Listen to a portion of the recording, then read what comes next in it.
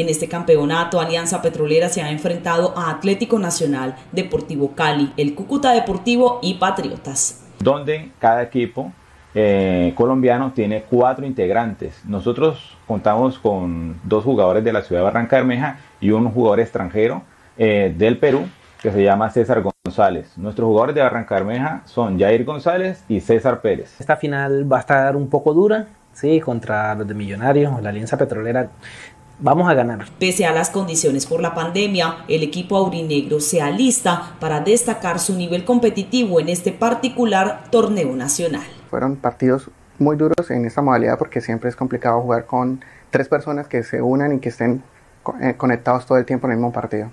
Durante todo este tiempo hemos estado juntos entrenando, jugando partidos para poder llegar hasta donde hemos llegado. La final se jugará este viernes 10 de julio a las 9 de la noche y la hinchada podrá acompañar al equipo a través de la transmisión virtual que se realizará por Facebook Live.